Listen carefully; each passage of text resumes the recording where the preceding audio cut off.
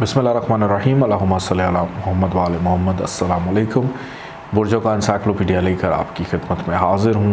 एक T V से astrologer Syed Mohammad Ali Zanjani. गुफ्तु आज हम करेंगे बुरजमल एरीज़ के हवाले से और थोड़ा सा हम ज़िक्र करेंगे कि ऐसे एरीज़ वाले शख्स का जिसको दुनिया लानेडो डविंची के नाम से जानती है, जिसने मोनालिज़ा वाली पेंटिंग बनाई और पता नहीं दुनिया में उसने क्या क्या इल्म की दुनिया में तूफ़ान बर्पा किए। एक माहिर तशरील अज़ा की हैसियत से इसने नौ अजसाम को चीरा, फाड़ा और गज़लात की हरकतों का पता चलाया, जिसकी दुरुस्तगी की तारीफ़ आज के माहरीन भी करते हैं। इसने दिल के गज़लात और इसके वालों के मतलब बिल्कुल इब्तदाई थ्योरियाँ पेश की और खून की गर्दिश और आँख की हरकत का मुताल किया।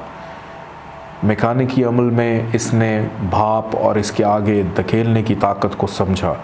इसने हवाबाजी के असूल पेश किए और हवा से ज़्यादा वज़न के असूल की पुरजोर हमायत की। इसने पहला मसनू परिंदा तामीर किया और गोया, ये काफ़ी नहीं था।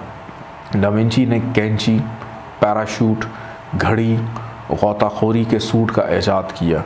नबातात में इसने पत्तियों की तब्दीली के कवानीन का फार्मूला पेश किया। योनाडो डविंची की ज़िंदगी हमल अफराद की असली फितरत को भी उजागर करती है। हमल अफराद के नज़दीक एक अच्छा आइडियल इस काबिल है कि इससे इस्तफ़ादा किया जा सके। लेकिन डाविंची का सही तरीका इजहार, रबता या कारीगरी नहीं, बल्कि तख्लीक था।